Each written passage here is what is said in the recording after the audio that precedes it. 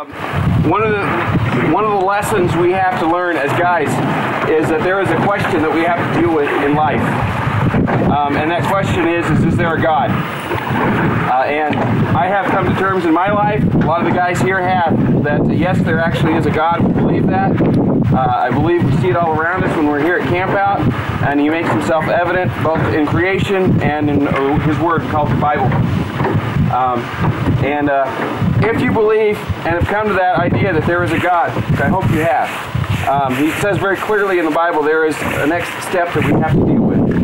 Um, and that is that uh, God wants to be with us and reside with us, and yet God is perfect, and, and to be in God's presence requires perfection. Uh, and uh, thanks to Adam and Eve, uh, we all sinned. Uh, and, and we have to deal with that. And so tonight we're going to witness one of our young guys that has dealt with that whole process.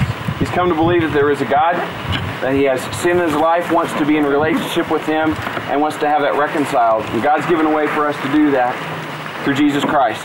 Amen. You can read about him in the New Testament. Jesus came and he went to the cross, took care of our sin, and uh, gave us an opportunity to have eternity. And uh, I'm excited that one of our young guys tonight wants to publicly confess his faith in God and, uh, and make that public proclamation and uh, be sealed with Christ.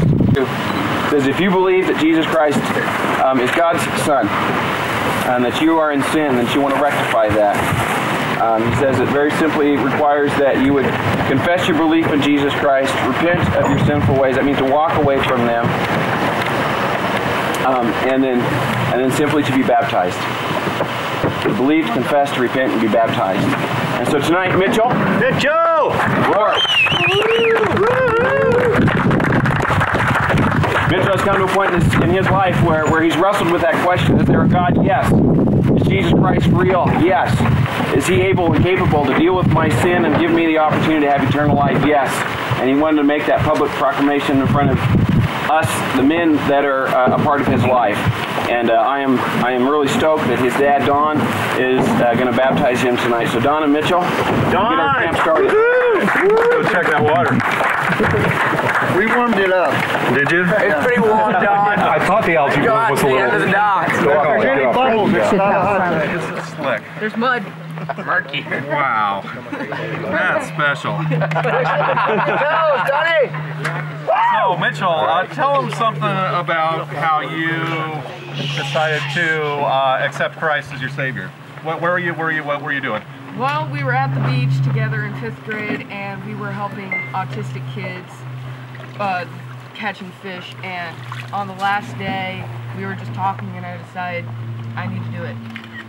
So, um, so what'd you do? You said you just did it. You told Jesus that you needed Him and that you had sinned. Yes.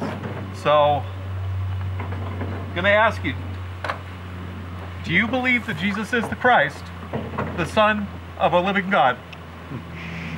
Yes. Well, it's on that confession of faith that I am honored to baptize you in the name of the Father, hand the Son, and the Holy Spirit. Buried with Christ. That's